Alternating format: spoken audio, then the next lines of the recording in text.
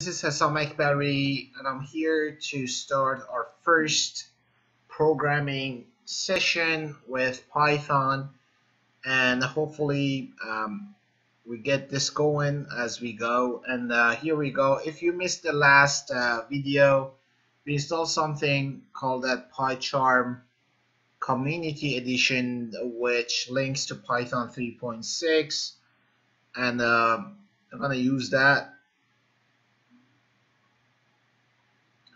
alright so when you open that you basically you are going to see here we go. Was a little bit off. To create a new project uh, I simply gonna go and name it. So you're gonna go and let's say I don't know first this is my first here's my F? Here we go first. Oh that's odd. My F doesn't work for some oh first program. So the name there's no space or anything. We're gonna create that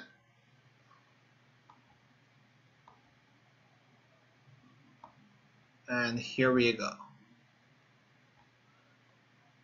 so since this is coming up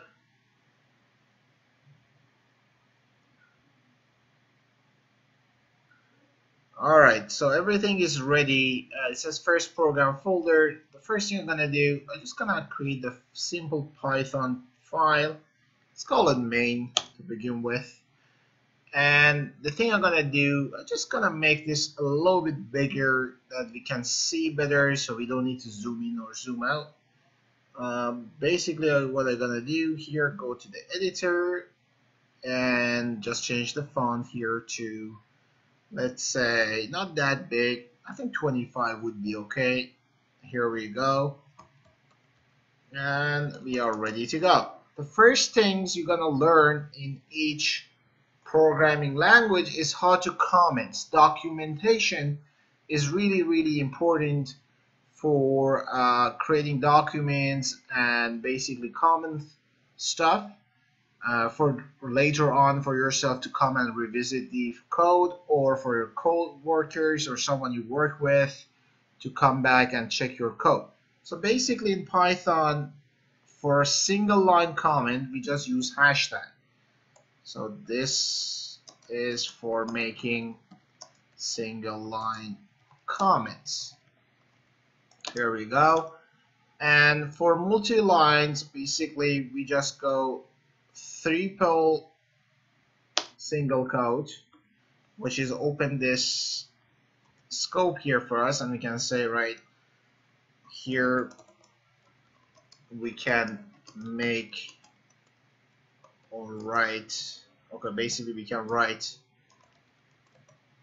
more than one line comments. Sorry if you see any typos or anything just ignore it. Here we go. And the author of this code is Sam Ekber. So I'm writing it. You see, it tells you in a sense that I have a typo, but my name is not typo. You can actually check it for spelling if you like. But that's how you make single and multi-line comments. Instead of three single quotation, you can go three double. And here also, this also works to make comments. Later we're gonna learn that um, basically triple, basically quotations used to indicate string. I'm assuming you guys know a little bit of programming and know what the strings are, but we're gonna continue and we clarify this as we go. The most important part of each program basically is input and output. So if you consider a program, program has inputs it goes in. Oh. And it basically process that input and uh, create or generate output. So today we are going to basically cover input and output. And uh, later on we're going to learn um, about variables. So variables are, let's say, is a placeholder for your uh, numbers, for your names, for your strings, for any kind of data you take as an input. So you want to restore it, use variables. Variables can be anything, can be a number, can be a decimal number, can be fractional, can be anything. We'll get to it when we get to it. So we're gonna cover these two. Let's start with the basically output first. So we're gonna uh, start, let's go here, start with output. In uh, Python, simply, if you wanna output something, you just write print. Basically, here we go. Print is a reserved word. As you can see, just pops up like that. Print um, is some. What's a reserved word? Reserved word is something that your program actually understand. is a simple command. It, you can't really use it for any other thing except just using it.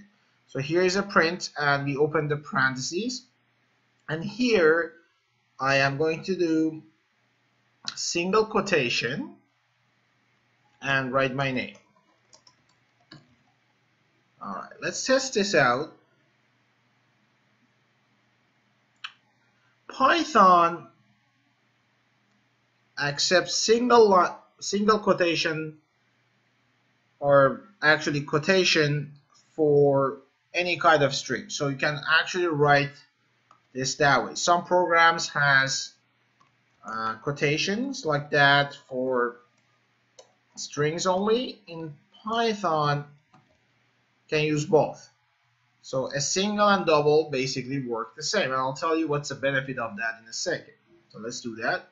See, both of my names actually show up. Um, let's say now I wanna, how do I print single quotation or double quotation? Let's say I'm gonna start with double and say the course the Python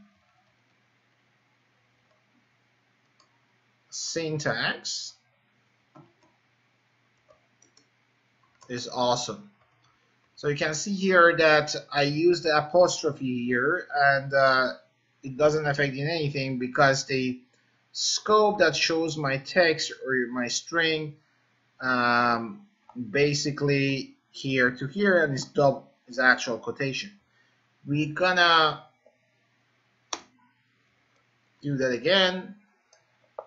Uh, this time I'm gonna use single and say okay the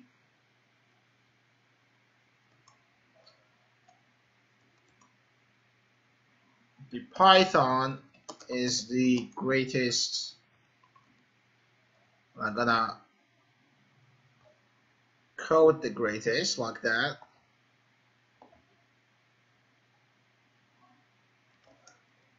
Language of all the time. See what I did? I pressed enter to go to the next line. Right there, if you look at it, it works just fine. It's okay. In Python, for each command, uh, you don't need to specify with semicolon or anything like that. You guys might know other languages but in this, you just write. It's a script language and just go with it. Here we go. You see, I print those here, no swing. And this one there. So if I want to use the single or double, I can just alternatively uh, change these two to whatever I want. And now we are, um, what if I want to have both? What should I do? All right, that's a good question we're gonna say print